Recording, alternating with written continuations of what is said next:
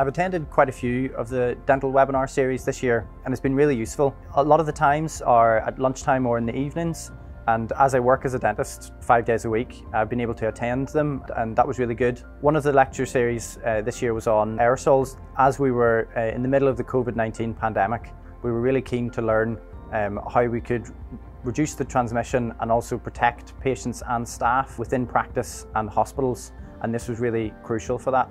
The CPD learning I did is the TED-I and that stands for Training and Early Detection for Early Intervention and it's helped me learn how to observe babies' movement and development.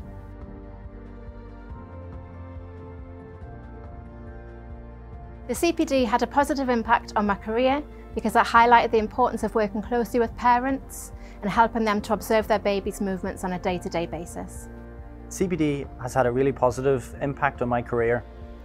As a dentist, I have to undertake a minimum number of hours set by the General Dental Council the webinars delivered by Newcastle University at the Dental School are delivered by uh, experts in their field and it's really useful that I can attend those at times when I'm not working with patients, so at lunchtimes and in the evenings.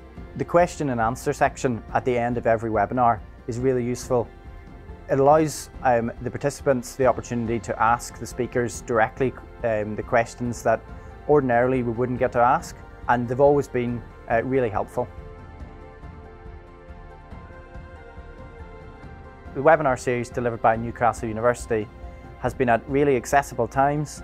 As they're delivered virtually, I don't have to cancel any clinics and I can just watch these either on my lunch break or at home. Following the CPD learning, I've encouraged my colleagues and fellow workers across the region to undertake the learning.